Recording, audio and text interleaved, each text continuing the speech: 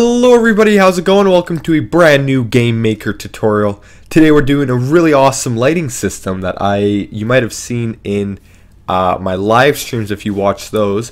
You can see some, uh, there's a picture on the screen right now of what it looks like. Um, and I'm actually, I think it looks great. I've been using it for a while now.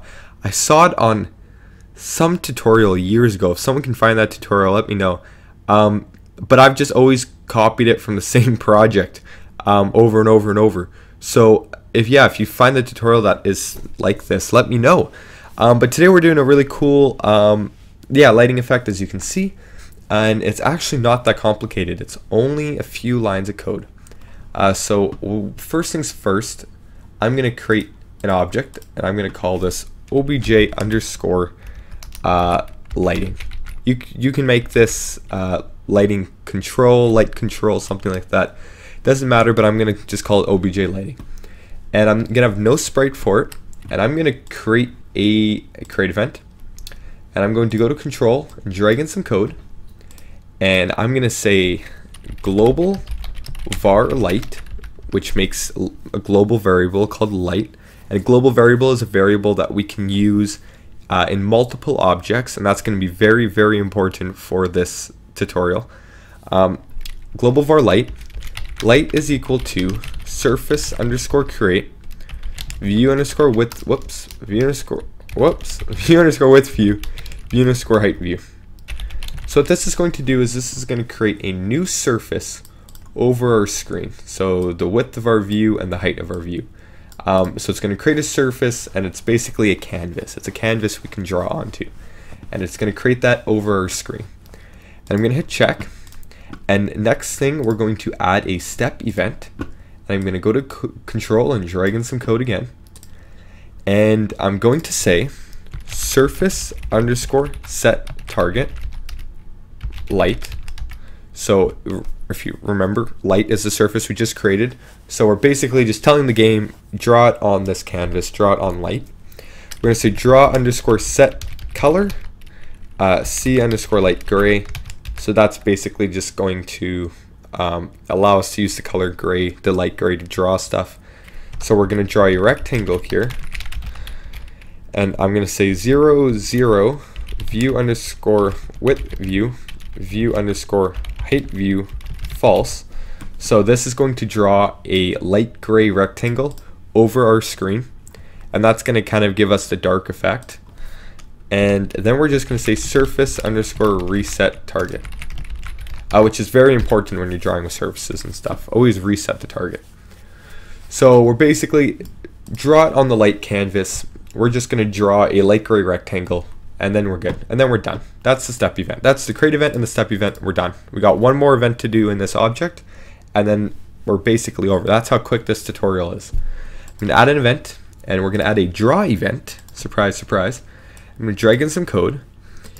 And I'm going to say draw underscore set blend mode to BM subtract.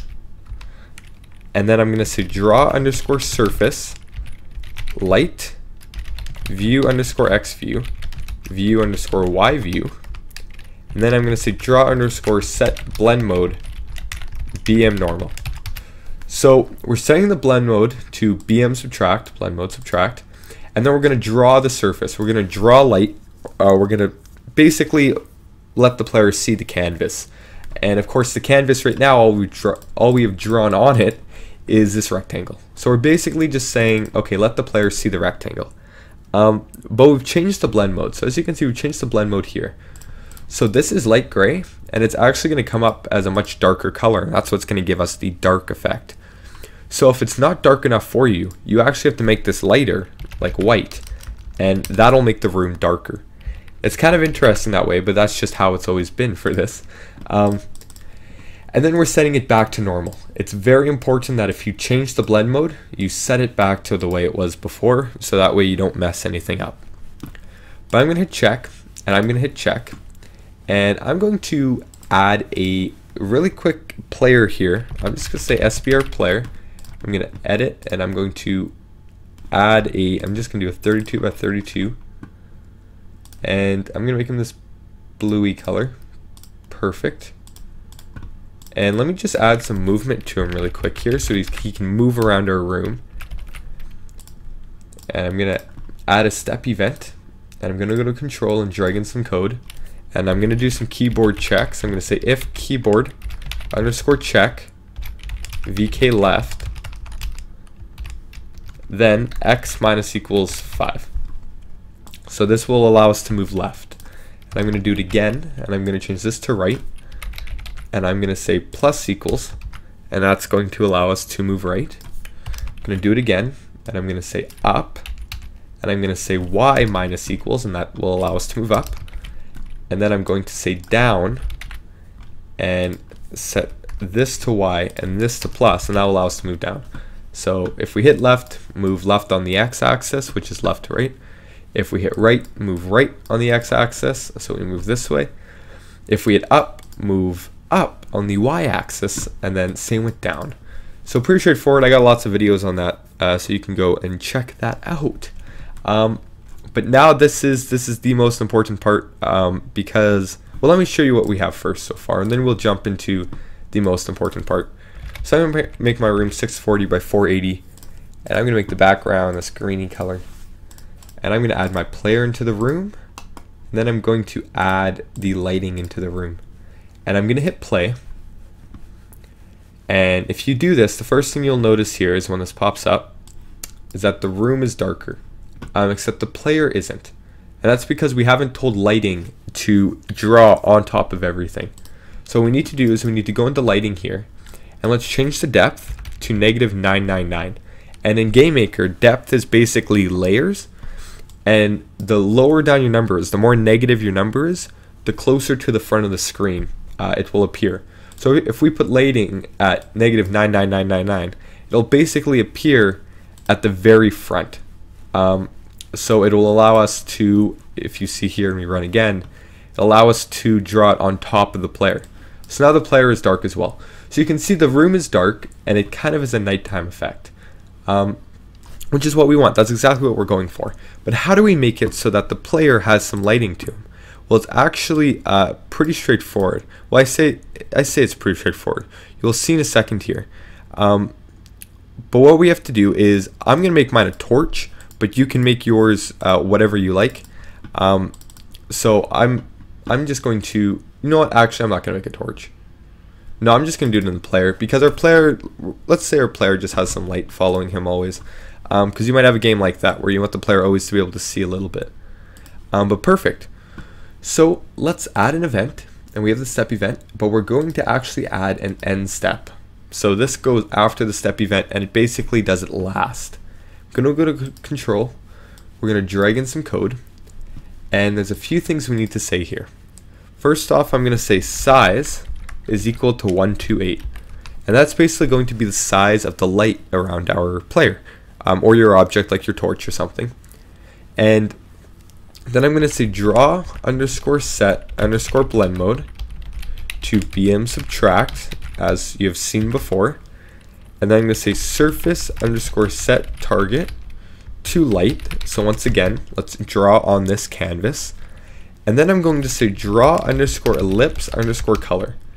Now this takes a few variables here, um, but it's similar to the rectangle.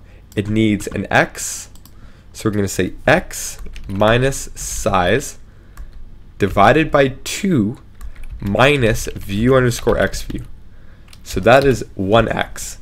And we're actually going to do almost the same thing. We're going to say y minus size divided by 2 minus view underscore y view. Okay. And now we're going to do it again, almost. We're going to say x plus size divided by 2 minus view underscore x view. And then we're going to say y plus size divided by 2 minus view underscore y view. So that's quite a lot, isn't it? Um, but don't worry, it's just it's just to make sure that it all works. It works fine and it looks good around our player.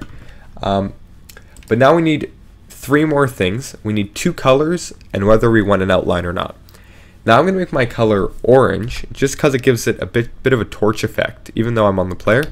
I'm going to say C underscore orange, um, but you'll want to, yeah, you'll want to pick a color that kind of works with your player. Um, you could make it white, you could make it blue, you can make it aqua, it doesn't really matter. Just do whatever you like. Uh, but make sure that the second color is C underscore black. So your first color can be whatever you want, but the second one has to be C underscore black. And then we're just going to put false. That is a long line of code right there. But we are not done yet. Of course, we have to do a few things. We have to reset the surface like we did before. We're going to say surface underscore reset target. So that way it, you know, it's a safety thing. We're going to draw underscore set underscore blend mode BM normal. So we're resetting the blend mode. So we're drawing an ellipse and we're going to be drawing it around our player. So all this math, make sure, basically just make sure that our our ellipse is drawn correctly. It's drawn the way we want it to. And everything else is perfect. So just make sure that this color is whatever you like, but the second one has to be black. Now what I'm going to do here is I'm just going to center my player. Um, center your player because that's, of course, that's that's where it's going to draw from. Um, so if the player is centered, then of course the light is going to be more centered. Now in my game here, you can see that I have a light around my player. So I can move around and the player is going to follow the light. Now if I want to, I can go and make the size bigger. So I can make this, let's say 360. And my light, as soon as this boots up here, is going to be much bigger um, but it kind of lights up the room. It gives it a cool effect.